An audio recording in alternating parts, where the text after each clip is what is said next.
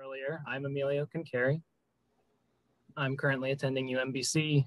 Uh, I'm a what I would call an amateur naturalist, and I will be giving a presentation about the importance of crayfish and other crustaceans within the state of Maryland. So obviously the first question is what actually are crustaceans? That's sort of the base question that we have to that we have to answer here. So you, we have insects, arachnids, um, myriapods, and crustaceans, which are all arthropods. Um, you know, insects like butterflies, arachnids like spiders, scorpions, and myri- myriapods like um, like millipedes and centipedes. Those are all arthropods and they're all invertebrates. And invertebrates don't have a backbone and they have a exoskeleton rather than an endoskeleton, uh, which uh, us humans and all other vertebrate animals have. Uh, and crustaceans are quite an expansive group, over 42,000 species in there. And there you see our, our probably our most famous crustacean, the Atlantic blue crab. Next, of course, since this presentation has such a focus on crayfish, we need to answer what are crayfish. so crayfish, crabs, and shrimp are all decapods within the arthropod group that I mentioned earlier. And decapod means 10-legged, as you can see down there by that little devil crayfish. They have eight legs and two pairs of claws. And all of Maryland's crayfish are in the Cambaridae family. Uh, they're also very closely related to lobsters, as you can tell. They very closely resemble them. Um, crayfish have also been gone by many names depending on where you are. Uh, here they are very often called crawdads or crawfish, but other places call them mud bugs or rock lobsters or mountain lobsters. they have plenty of names, but uh, their proper name would be crayfish, which is what I will be referring to them as today. So of course, now we have to go over the life cycle as an important aspect of crayfish. And as practically all invertebrates, they begin their lives directly as eggs. And the female stores them actually under her tail and fans them and keeps them protected until they've hatched. And even once they do hatch, the larval crayfish stay underneath the tail in a sort of pocket in a ball, all huddled together until they're large enough to to detach from the mother and they seek out some shelter in aquatic vegetation or some rocky areas. And if they uh, avoid being eaten for long enough, then they will, of course, be able to molt several times and reach their adult size, in which they are able to breed and starts the whole life cycle over again. So then a very important, whoops, very important, another good aspect to, to understand when it comes to crayfish, because crayfish tend to be very difficult to identify is all the different parts of them. Now you have just a little very oversimplified diagram. Obviously, there's a lot more parts to crayfish than just these, but I've tried to make it as easily digestible as I can, really. So, of course, you have the abdomen, the tail, the very uh, signature aspect, signature feature of crayfish and lobsters, of course, as I'm sure many of you are aware. You have the areola down in the center there. It's that sort of hourglass shape. Uh, and it can be narrow or wide depending on the species. And then you have the rostrum, which is the nose portion, you could say, between the eyes. That varies in shape. That's very important. And then you have the carapace, which makes up the uh, the middle section of the animal. And of course, you have the legs, and you have the chela, which are the claws and I've got here a very simplified key for identifying crayfish genus, genera rather, in Maryland. So on the left, we've got, uh, as I said in the previous slide, you look at the rostrum first. That's very important. if you have more of an arrow-shaped rostrum, it's more shortened. Then you have either Cambarus or Lacunicambarus. And if you have on the on the right a more elongated pencil shape with those distinctive spines uh, towards the end of the point, then you likely have Faxonius or Procambarus. So first we will go over the former group, which is Cambarus. We have the probably what is the one of the most common native crayfish, if if not the most common native crayfish in Maryland, which is the common crayfish Cambarus bartonii, which occur in a multitude of drainages all over the state, um, but mostly within the Piedmont and the montane regions. And then you have um, it's very very close relative I mean, as you can see there, they look practically identical. Uh, the rock crayfish, which is only in the Youghiogheny River drainage in Garrett County, which is all the way in our westernmost county. Uh, both are really, really sensitive to pollution, however, and they've they've faced pretty heavy population declines, especially in places where virile and rusty crayfish occur, and we will go over those two species shortly. Um, regardless, both are, are known for their proficiency in breaking down submerged vegetation and decaying material. They're very good at that. And they're honestly very instrumental in just maintaining balance in these aquatic ecosystems. The, the idea of balance is something that's going to come up a lot in this presentation because crayfish are very good at maintaining that in a variety of ways. And you'll get a better idea of how they do that soon. Uh, next, we have, we're going to go over our rarest crayfish that we have, which is the acuminate crayfish, Cambarus acuminatus, which is ranked as S2, uh, state imperiled. It's, it's quite rare.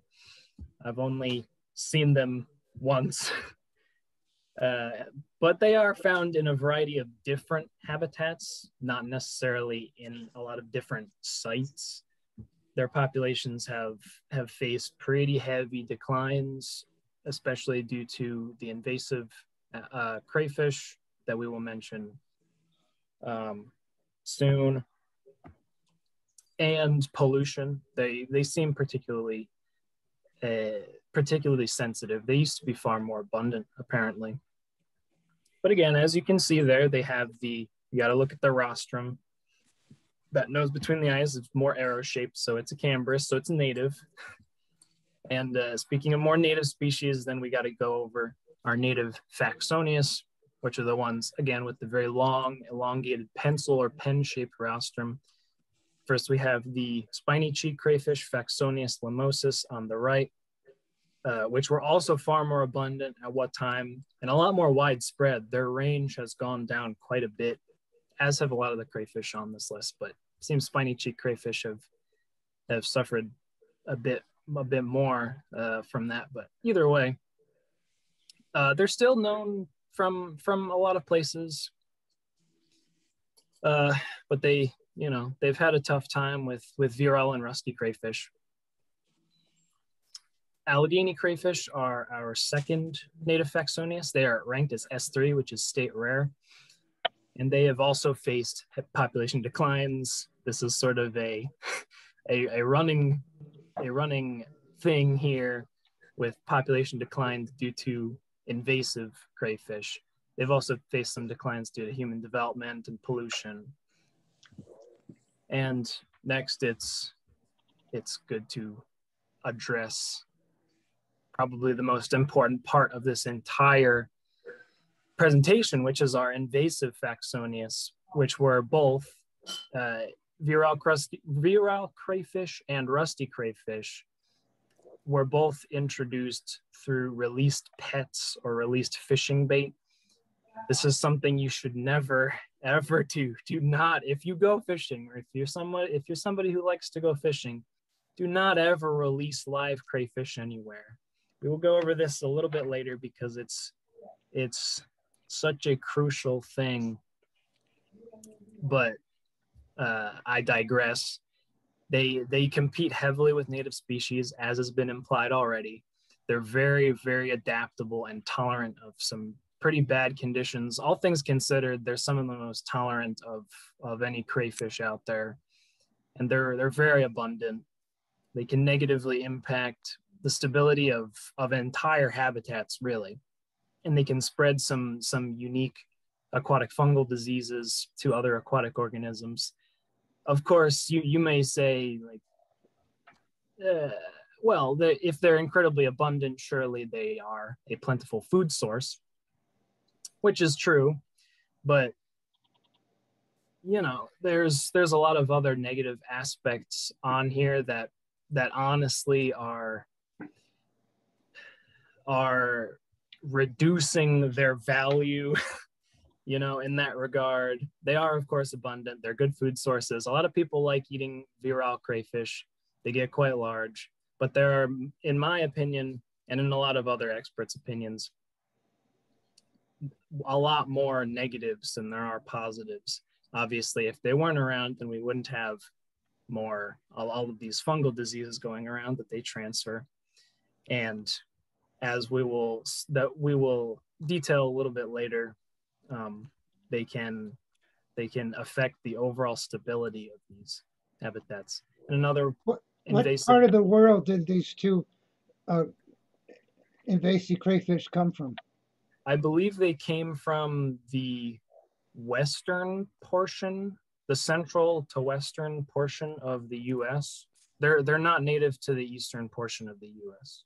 I don't know specifically. Um, I'll have to look more at that.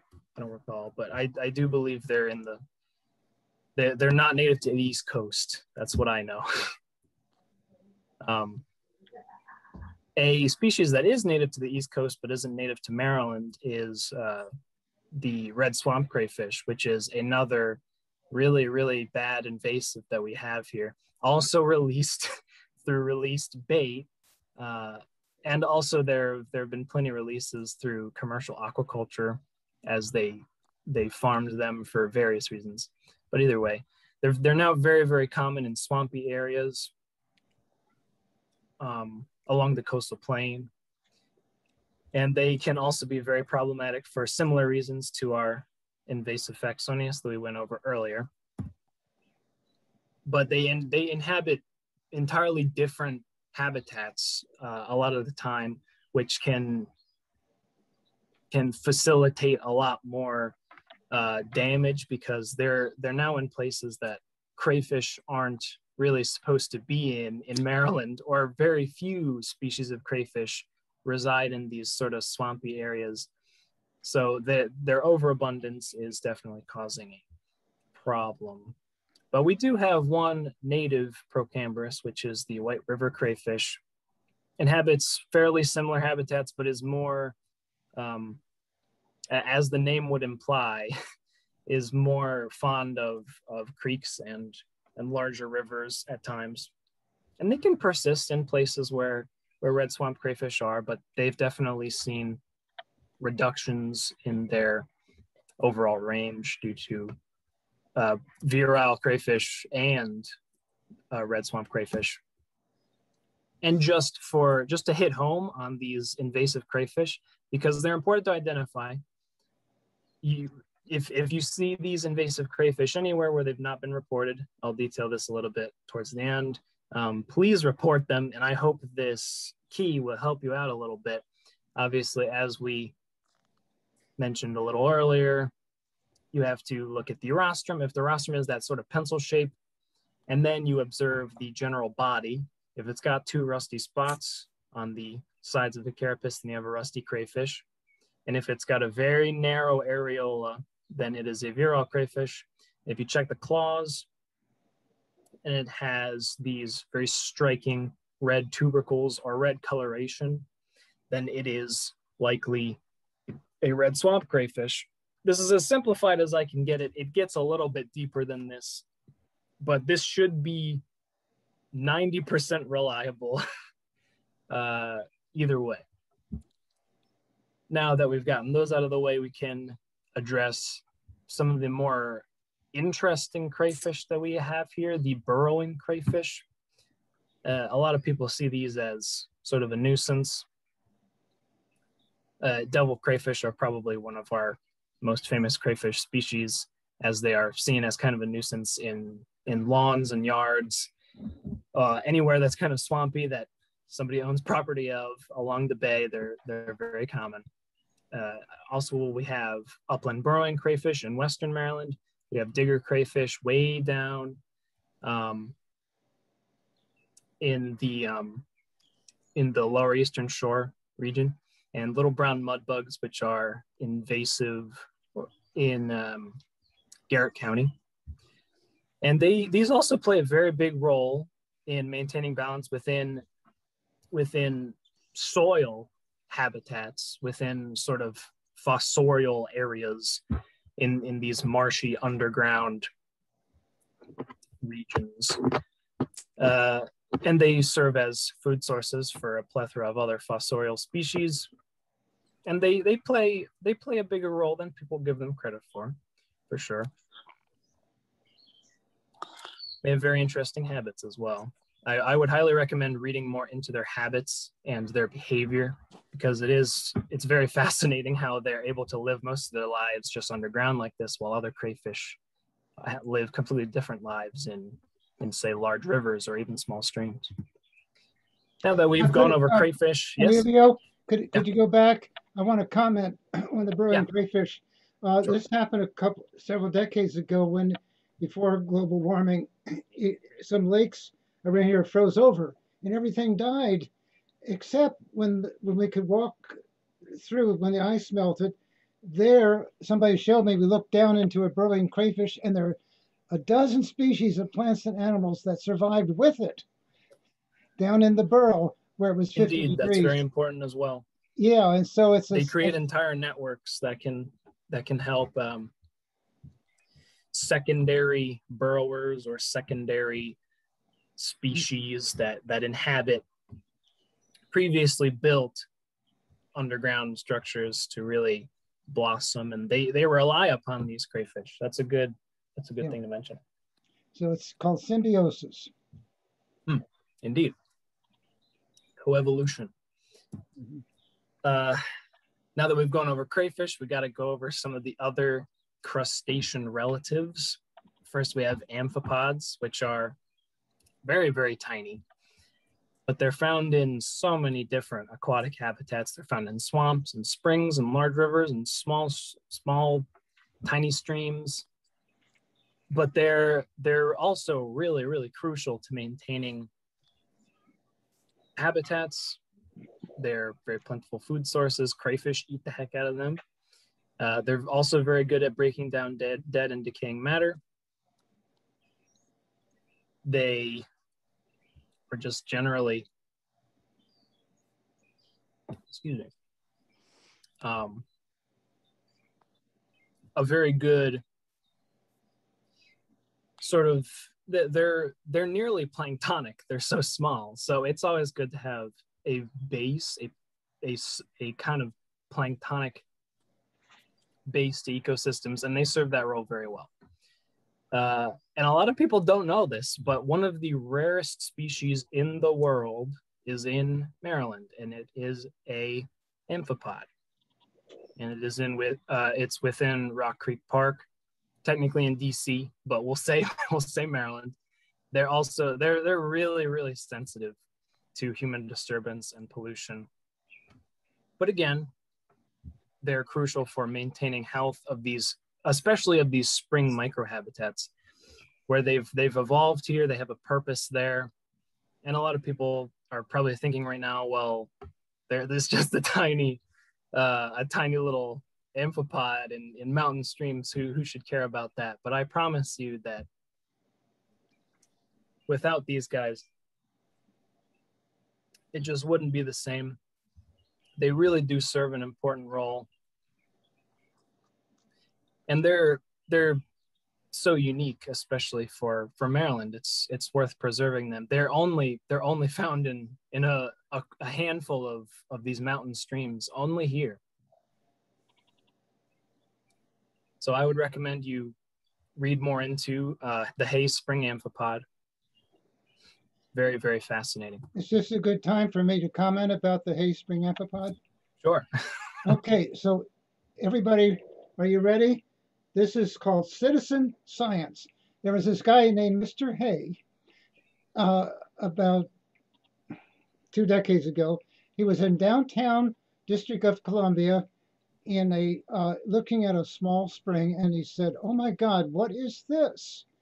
He didn't recognize it, and we got a um, carcinologist to check it out, and they said, "Oh my God, it's a brand new species, never discovered before in the world."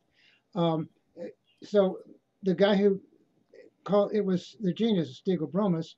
He said, "Okay, Mr. Hay, thank you so much. I'm going to call us Stygobromus hayi in honor of you as a citizen science." Okay, and then we looked all over, and I was working for the Endangered Species Office at the time, and we looked all over, and that was just, just a few. It died in the downtown D.C. area because of you know what what District of Columbia did to their landscape, but it survived in Rock Creek Park upstream in these little mountain springs, and I put it on the National Endangered Species list, and I was required to have a common name, and there was no common name. So guess what I called it? It was a spring amphipod. I call it Hay's spring amphipod in honor of Mr. Hay. And by the way, he was very happy as a citizen science to be recognized for what he had just done. So all of you out there, become citizen scientists. If you don't recognize something, go ahead. Let's, and maybe you got a new species and you'll become a famous citizen science scientist. Indeed, very important for if you're interested in nature, go out there, explore, look for tiny things. It's often the, the really small species that go unnoticed, uh, that go undiscovered. Speaking of which, we have next isopods, also known as roly-polies. By practically any kid you talk to, there are several different groups of isopods in Maryland. Uh, we have some aquatic ones and we have some terrestrial ones. Uh, but they're they're also very proficient at breaking down dead, dead and decaying matter. That is another sort of common feature of uh, aquatic and terrestrial crustaceans. Uh, they can also stimulate a lot of growth of, of um, beneficial microbes, which is a fairly unique aspect to them, yet still very obviously very important to preserve these guys because they offer a completely unique um, ecosystem service. And uh, if you go anywhere near the bay, you'll probably be familiar with the sea slaters or the wharf roaches that hang around the the rocks along beaches and you have water slaters, which are common in streams, and you have woodlouses like Armadillidium, which you can find just by flipping over a log practically anywhere, even if you're in an urban area.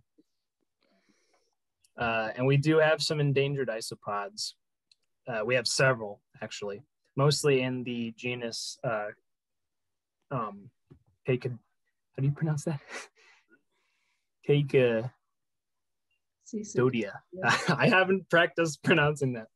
Either way, similar to the hay spring amphipod, uh, these endangered ones are, of course, also crucial for maintaining the overall health of their respective aquatic environments and are very, very sensitive. So I urge you to support the conservation of all of these endangered, very tiny crustaceans. Next, we got crabs. Again, probably our most famous crustacean in the whole state, the blue crab. One of the most famous crustaceans in the world. So glad to have them here. But uh, at one point, they weren't doing so well here. Uh, and it was thanks to conservation that they are now back to uh, very respectable population numbers.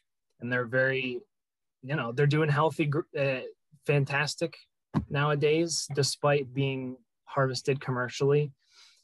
Uh, we've really figured that out. That's a great conservation success story, and they're still very commercially valuable.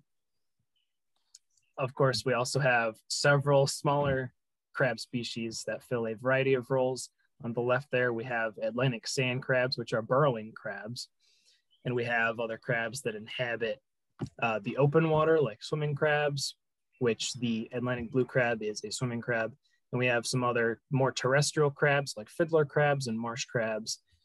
We have several, and they're very, very important. I've said the word important many times, but I'd like to hit home on that word. Uh, for the bay ecosystem, especially. They're also proficient at breaking down dead and decaying matter and serve as uh, as predators or rather they serve as food. They also serve as predators. Blue crabs are are good predators uh, but they serve as food for a lot of different predators. In the bay along the bay a lot of fish eat the larval planktonic forms of crabs and a lot of large bird species um, eat adult crabs. We do have some invasive crabs here. We have the Chinese mitten crab, thankfully not very common, but still very important to, re to report if you see any, and the Asian shore crab, uh, both introduced accidentally via boat hull fouling uh, and ballast water. Uh, and they they're, they're the Chinese mitten crab particularly is something that we really need to look out for. They can spell some some pretty bad things for the bay. They can facilitate a lot of stream bank erosion. They can host a lot of really dangerous pathogens, and they compete heavily with native crabs. So if you see a Chinese mitten crab, please report it. please do. Uh, and finally, we've got barnacles. A lot of people don't even know what barnacles are, but they are crustaceans. They form this sort of calcified uh, casing around themselves, but they are crustaceans and they are very important to the entire Chesapeake Bay ecosystem, similar to oysters. They are filter feeders and they filter and clean the entire bay practically they do a fantastic job of that. And without them, the bay would not be nearly as healthy. So, you know, there, there you go. They're also very good food sources for other animals. You wouldn't think so, but they definitely are. I, I encourage you to read more about uh, barnacles because they are really fascinating and probably one of the most underappreciated crustaceans out there. Uh, and lastly, we've got the other sort of planktonic crustaceans. Grass shrimp aren't necessarily planktonic as adults, but they are as larvae. Um, shrimp, really, really important in the bay as food sources. As I'm sure you're, you're aware, shrimp are just completely necessary for the bay for the bay ecosystem. Uh, we have fairy shrimp, which are also crucial for maintaining healthy ephemeral pool habitats. That's where we have our spotted salamanders and our marbled salamanders and all of our ephemeral pool loving species. Fairy shrimps are instrumental in maintaining that whole process, especially along the ephemeral pool habitats um, in certain parts of the bay. Uh, and we have, as I as I mentioned, before we have the specific planktonic crustaceans that stay planktonic, like Daphnia and copepods, which are the basis of the entire aquatic food web practically. Food for a lot of really small organisms. That is what you need to maintain ecosystem health. You got to start there. It's got to be plentiful. So as as we've of course of course gathered by this entire presentation, I hope uh, that, that you believe crustaceans are truly important, especially crayfish. I'd like to, to put a lot of emphasis on crayfish here. They're more, they're much more important than people realize. Their, their sensitivity to pollution allows us to really gauge the health of streams and wetlands. They can stimulate a lot of unique beneficial processes. As I mentioned earlier, they can break down a lot of dead and decaying matter. Isopods can stimulate bacterial, beneficial bacterial growth. And we've got plenty of other uh, beneficial ecosystem services that they provide. Uh, however small, they are still instrumental and they must be appreciated. Their absence can can cause immense degradation and almost structural collapse within a given habitat. I've seen areas, streams where there are no native crayfish. It's just loads and loads of virile crayfish. And every single time I see that, it's not a very healthy stream. uh, and there's reasons for that. These these invasive crayfish, these invasive species aren't meant to be here, and they really do cause a lot of issues with the balance of habitats. Even at a glance, you can see these habitats and you could say they they seem okay, but it's a it's a slow process, and we really need to address this issue before it affects the entire bay because we have all these headwater streams that these invasive crayfish are are inhabiting by headwater, I mean very small, um, very small streams that eventually feed into our, our creeks, which eventually feed into our rivers, which feed into our bay. So those small streams, even though they appear small, are so important for maintaining our bay health, uh, if not more important than maintaining the health of our larger rivers like the Potomac. Um, so these crayfish and crustaceans are are such a huge part of that. And as i've mentioned of course before they are commercially valuable. They're valuable to humans. They provide us with a lot of benefits. We can eat them. And they're food sources with for countless animals uh, at varying life stages as i've mentioned. So protection efforts for these crustaceans um, vary although they're unfortunately not very commonly focused on. Uh, there, there's not that many crayfish protection efforts, which is honestly really unfortunate. So I would highly, highly urge you to support the conservation of crayfish any, any way you can.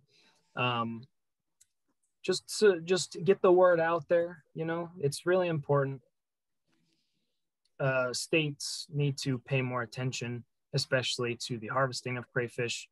Uh, rare species might be might be at risk.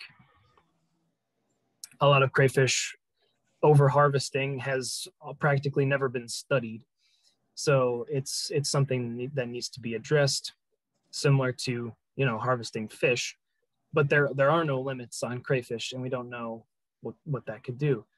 Uh, furthermore, eliminating invasive crayfish, even though it's a really unfortunate situation that they're here, it's practically impossible to eliminate them, but controlling the spread is what we need to focus on here. Uh, and, and researchers are really working on trying to find other solutions like biocontrol agents, although that's a whole other can of worms. Biocontrol agents, uh, either way, the probably the most important thing is that we should really identify sites that are at risk, sites that have, say, the the rare, the state um, state listed acuminate crayfish that I mentioned earlier, uh, and they, these should all be monitored for invasive species, mon- monitored for the health of of these crayfish, especially the headwater streams, as I mentioned earlier. So now, of course, you want to know what you can do. So you got to, of First, try your best to familiarize yourself. Use the keys on this presentation. Uh, familiarize yourself with, with the crayfish we have here. I would also recommend checking out the, the Maryland Crayfish Key. It's a very detailed identification key. Crayfish identification can be a bit of a bit of a handful, but if you would like to know more about how to how to do detailed crayfish identification because it's not always easy. Uh, I would highly recommend checking out the Maryland Crayfish Key. Quick search on Google can can turn that up. Uh, and as with practically all of our invasive crayfish, which were introduced via via pet or bait release, never do that, please. And do not transport any of the virile crayfish, rusty crayfish, anything like that. Don't introduce anything new. Uh, never, never transport anything, anything alive anywhere, especially these crayfish. We don't want them spreading any faster than they already are. Uh, but they, you, you have to do your best to, to just watch out for all of these. Keep tabs on on your local streams. Uh, you know, you only have to flip over a few rocks, really. You can you can find crayfish, plenty of these uh, crustaceans that that we've detailed today.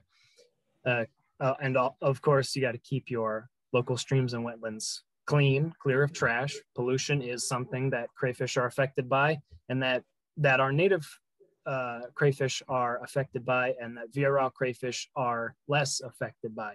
So, got to keep our our streams and wetlands clean to help support our sensitive native species. You have to minimize your impact, your carbon footprint. Uh, try not to disturb the wet these these wetland and stream habitats as much as you can. And again, just spread the word about about how fascinating crayfish actually are, their importance, what they can do, uh, and a, a good thing to do to sort of spread the word uh, and just report general sightings of crayfish is to use iNaturalist. iNaturalist is a wonderful resource. If you don't use it already, I highly recommend using it. It also lets you know where certain crayfish species are um, localized so that if you find, say, a rusty crayfish in a place that have not been previously reported, then you can report it on there and you'll know that, they, that it has not been reported there before. But so I'd like to uh, comment. That's about it for what I got. comment on your last point, Emilio. Uh, sure. Report sightings of crustaceans if you find any of those endangered ones. Yes, of course. if you find if you find rare rare species, please report those too. Yeah, and the state is much more likely to fund protection of that site. Much yes. more likely to control the pollution and and do everything. And of course, in terms of Hay Spring Amphipod, since it's on the federal list, uh, it resulted in stopping the pollution of Rock Creek Park. Yes, it stopped a major pollution. It made mm-hmm. the federal approval was not legal because it was federally listed, and it actually stopped the pollution of Rock Creek Park.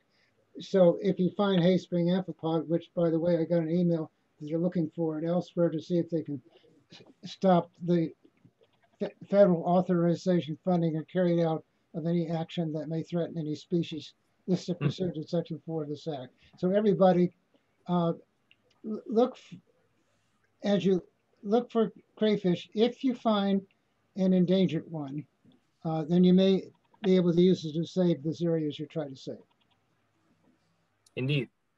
Even look in the, uh, even if you've got a small spring near you, I'd recommend looking, mm-hmm. looking uh, in that area. As as Mark and I have mentioned, the Hay Spring amphipod has been found in only a handful of streams, only in Rock Creek Park.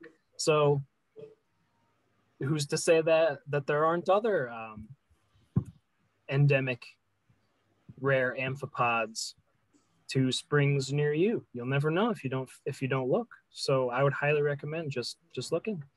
It's uh, it's fairly easy. Uh, but yeah, with that said, I I hope I I taught you all everything. I I hope I wasn't I wasn't boring. uh, but I appreciate you all listening regardless. Uh, yeah, thank you.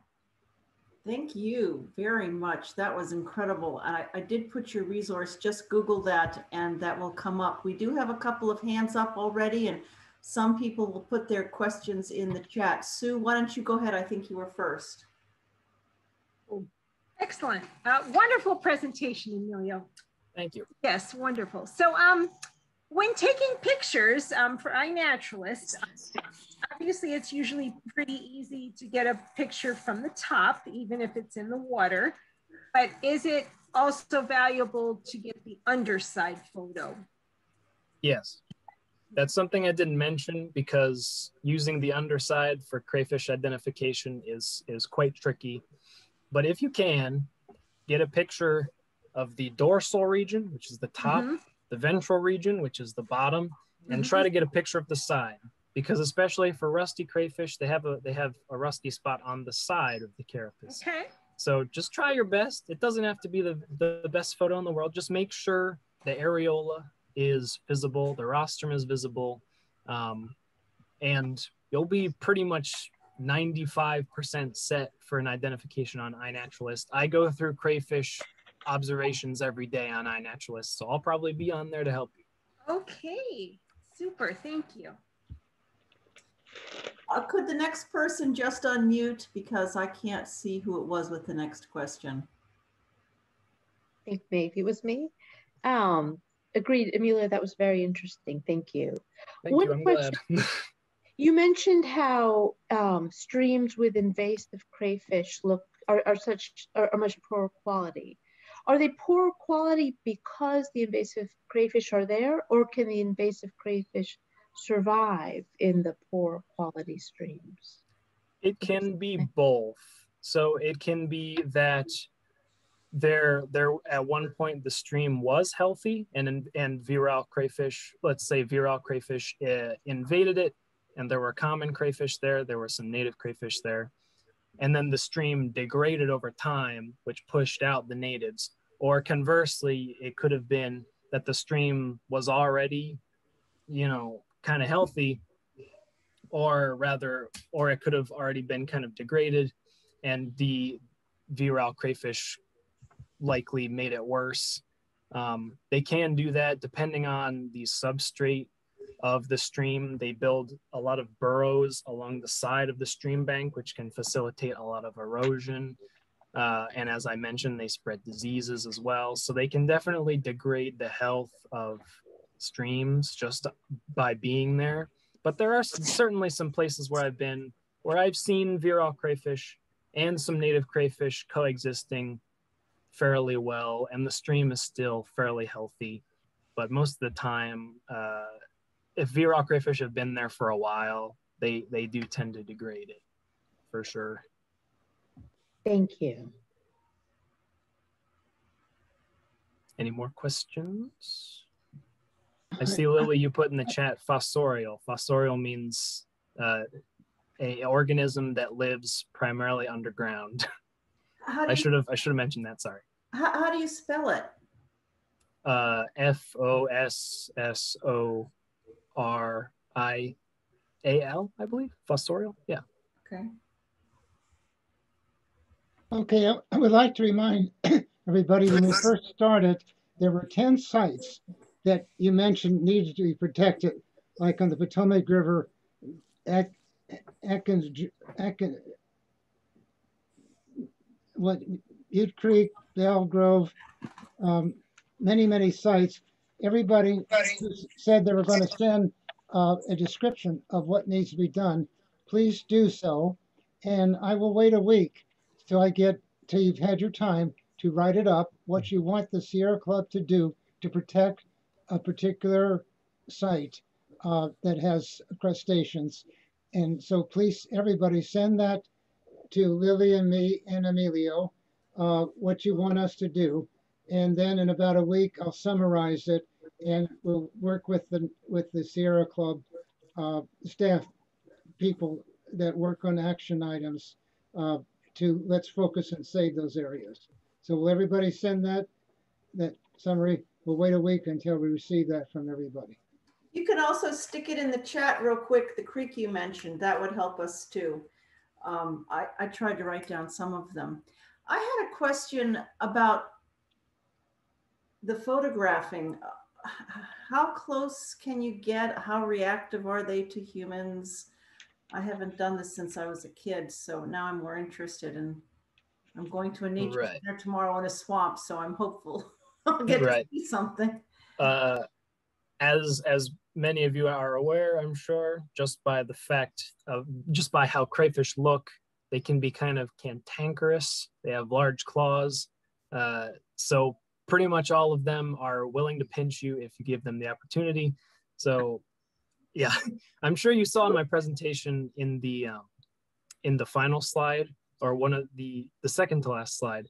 Uh, I'm holding the crayfish by the very end of the carapace before the tail starts, and that's a safe way to hold them. They can't pinch you if you hold them there, but if you grab them at practically any other way, they can reach around and pinch you.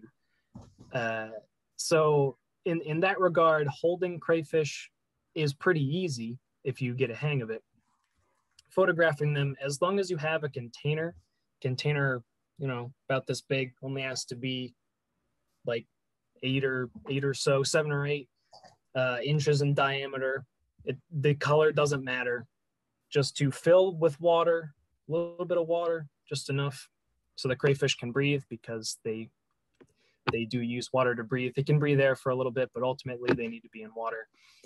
Uh, then you just take a picture from the top and then you pick them up. You take a picture of the ventral region, holding it flat in front of you with your camera. And then you can take a picture of the side while you're holding it, or whichever way you see fit. Uh, as you saw in my presentation, taking pictures of them from the dorsal region from the top is pretty easy. And most of the time, that is sufficient for identification. Uh, but for true identification, sometimes you you definitely need the the underside and the side.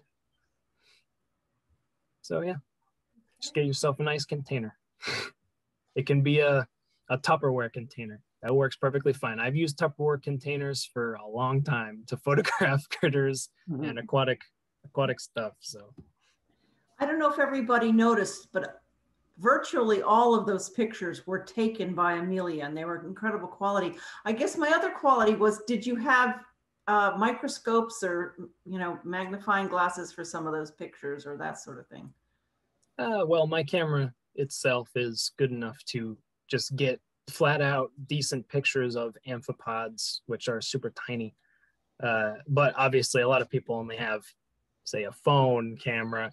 So I would recommend getting uh, you know, on Amazon, you can get them for like $20, a little magnification device that pretty much makes your, your phone into a magnifying glass. So if you want to take a photo of an amphipod, it makes it a lot easier.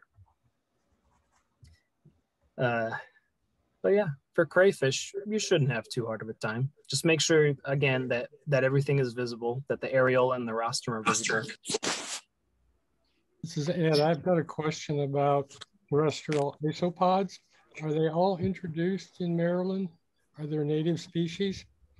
There are plenty of of non-native terrestrial isopods mm-hmm. in Maryland, um, but I don't think any of them are listed technically as being invasive.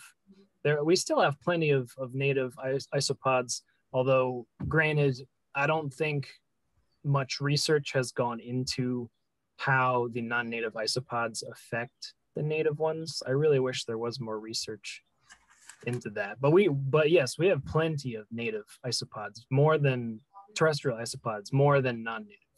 I have the impression that all, all the ones in my garden are the two introduced ones or non-native ones, the Armadillidium vulgare and the mm. other one, the Porcellio scaber but I haven't right. really checked them. They just kind of look like the ones I've seen all my life, but I haven't tried to identify them. But they can right. be very common in you know in suburbia, in gardens.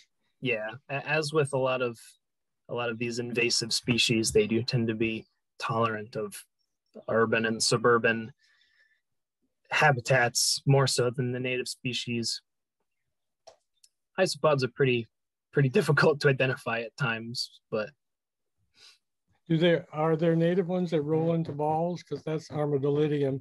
I don't know. You know, that's an easy way to tell that uh, genus, I guess.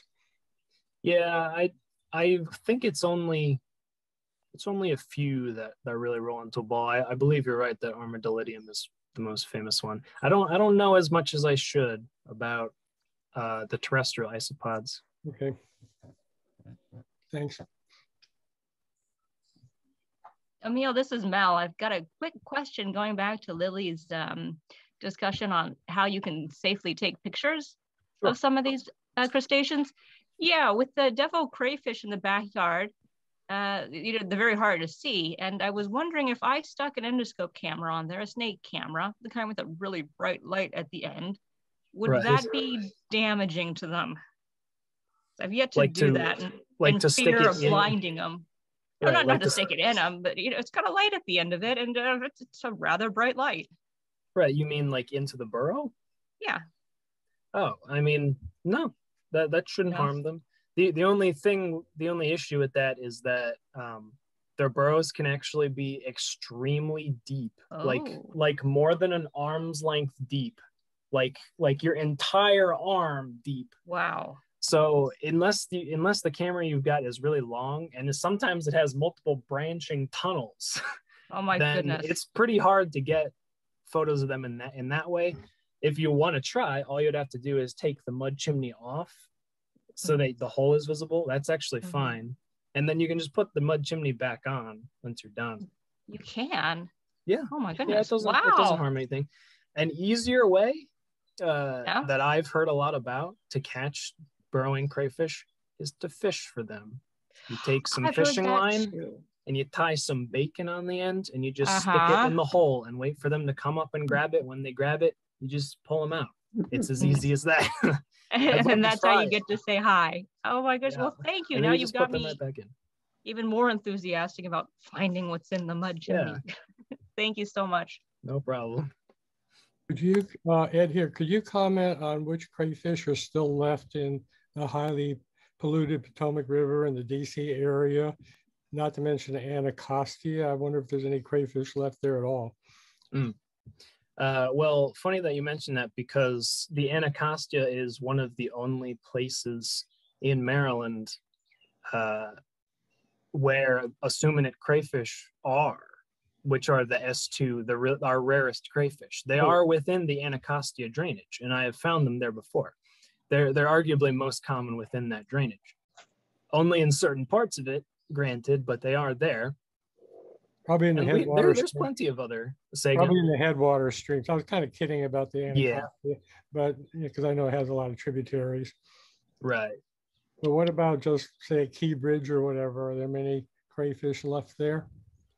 Uh, for natives, I'm not sure if there are many natives left. I'm sure Virile crayfish are just thriving. Um, I'm not sure. I don't think rusty crayfish have made it down there. They're they're more localized to the Frederick, Washington okay. County uh, area of the Potomac River, and a little bit up in the Monocacy. Uh, but uh, yeah, unfortunately, I I doubt that a lot of our native crayfish have persisted in the in the DC area um, especially if some of our fish are having a hard time down there. But that could always change. The the DC area's Potomac River health is is still steadily increasing, and we're getting a lot of a lot of good numbers there. So who knows? Let's hope. Yeah. Any other questions? Emilio, this is Ann Kateri. Yes, hello. Hi, honey. So I have a question in terms of these invasive species. I mean, what are our options? I mean, how is an elimination a possibility or is this all about containment? I mean, what what do we do about the ones that are already there? Uh, well, I, I believe I briefly mentioned that on the presentation, but it's practically impossible to just flat out try to eliminate all of the invasive crayfish that we have here because we the bay is so expansive it branches out into thousands and thousands of tiny streams and you would have to sample every single one of those uh, and and just clean them all out to get every possible instance every so possible the, so specimen. then what's the best option for you know um, kind of decreasing that spread then. You had yeah. mentioned something that I was unfamiliar with, something, I think you used the term bio. Yeah, a, uh, a biological I can, control. I can agent. speak to uh, biological control. Uh, before a permit is is given out for biological control, you have to prove that it's not going to be harmful to other species. And the rate at which biological controls are bad is now only 3%. before the rules went into effect, it was 50%. So it's a good thing Yeah. to do. Now, what, you- what you would do is go to where these invasive crayfishes are native and find out what's controlling it there and Yes. find something native that's controlling it there and and make that's a possibility to bring here to control that same uh, invasive here. And Oh, what an interesting concept. Okay. For, for instance, there are a lot of invasive plants here that have like a fungal control or an insect control agent in their native habitat that they don't have here. So the idea is you bring in the insects or the fungus. The Fungus is more of an uncommon biological control because that's more complicated. But you bring in like a beetle or something that eats the plant in its native habitat to Maryland. You have to do a lot of studying to make sure that that beetle won't affect other beetles or other plants in the area. But the idea is that it'll eat what it's supposed to eat, which is the native, the non-native plant, uh, and it'll take care of it. Uh, it's that that's not been a successful method in the past, but it is now proven to be pretty successful. And I do hope we find something like that for uh, our invasive crayfish. It's pretty hard to find biological controls for aquatic species for a variety of reasons, but it's something that's always possible. Clearly, their their bio- whatever biological control they have in their native habitat isn't here because they're invasive. So there's got to be something, you know. yeah, just to give a classic example, how many of you have seen mile a minute vine? Oh yeah. You know, it used to grow six inches a day. And now the bugs that I actually released it as a park ranger in Magruder Woods, uh, it reduced it to one inch a day. And so it's become naturalized. At Guilford Woods, Lily, we found one specimen a mile a minute here, one way over there, one way over there. So it used to be one of the worst. It no longer kills the trees. So Yeah. that's and and the first one was for purple loosestrife. After the new rules went into effect, that is proven good. And now the latest is Japanese knotweed. And everybody, please report to me where there's a large population because Kathy Stringler with DNA with DNR is going to is rearing the bugs and going to release them in November. So anybody knows a massive amount of Japanese knotweed, please let me know. and We will report it to her. I want to let everybody know that we have, we're- we're hosting from a borrowed space tonight. So we have a hard deadline of nine o'clock because the office where I am is going to close. Um, so I wanted to, uh, Galen, uh, could you, uh, make your announcement or do you have audio? Uh, yeah, I, I have audio. Um, so I posted in the chat there uh, as well that the wildlife corridors, wildlife and plant corridors group, which is also a group of the Natural Places Committee, um, is working on looking at connecting existing stream corridors and other things through in various ways through uh, habitat restoration and um, we're meeting next week on Thursday night at 8 o'clock. So if you're interested in that, um, the it's on the Sierra Club calendar, and the registration link is there in the chat. Great, thank you. Um, I also want to mention that July 7th at 7 PM, virtual possibility of in-person, hybrid, virtual and in-person, depending on Sierra Club policies by then. But um, we're going to have a uh, meeting celebrating Mattawoman Creek and all the, the importance, the ecological and the human importance of uh, Mattawoman Creek on July 7th. So if you go to uh, uh, marylandsierra.org slash calendar. Just scroll down to July 7th or uh, was it June 24th or July 24th, Galen? Oh, it's yet June because it's next week. June, yeah. June, June 24th and July 7th. If you go to that calendar, mdcr.org slash calendar, you can go to those events. Does anybody else have an interesting event they want to share? Oh, oh I, I, by the way, uh, if I have found people like Emilio, if you want him to come and look for crayfish and other crustaceans where you live, there's a good chance he'll come, particularly if you pay his cost of transportation. That would be fantastic. I'd love to explore any place you have around you. let you know what's there. I've got plenty of supplies. I survey streams on my own all the time. So, what what did you say, Lily? I was joking. I said I've got a place in the Bahamas. Will you come and check it out for me? No. I'll be your assistant, Emilio. Yeah, that'd be cool. okay. Mark, anything else? A question. Oh, sure. Um, I work with a lot of schools, and actually, we're doing a project Hmm. about microplastics. And so, when you mentioned that, um, you know, you mentioned a couple of times that there's pollution that impacts these the crayfish, and I was wondering if you could share a little bit more, like what are the types of pollution that affect them, and also has microplastics been coming up at all, and specifically microfibers with pla- microplastics in general? Um, in terms of microplastics, that's a really interesting question on whether they're they're affecting crayfish. I I know for sure that they that they are, um, you know, affecting a variety of different aquatic habitats. Probably even more so than than larger plastics, just because they're so tiny and they're they're so difficult to trace.